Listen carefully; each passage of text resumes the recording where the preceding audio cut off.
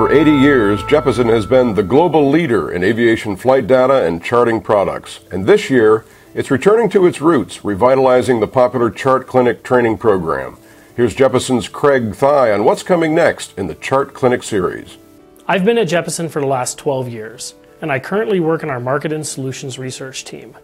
Prior to Jeppesen, I flew for a living. I flew Part 91 N135 turbine aircraft.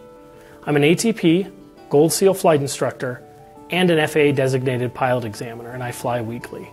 Our last webinar was a huge success. We had an amazing turnout, and we're looking forward to an even greater turnout at this next webinar. The next topic we're covering is called Climb Via, and we're focusing on the departure procedure and obstacle departure procedure portion of your flight, everything up until en route.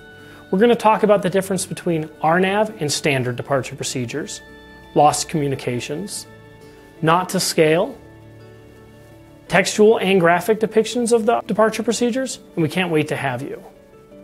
To find out more about the webinars, go to www.jeppesen.com forward slash webinars.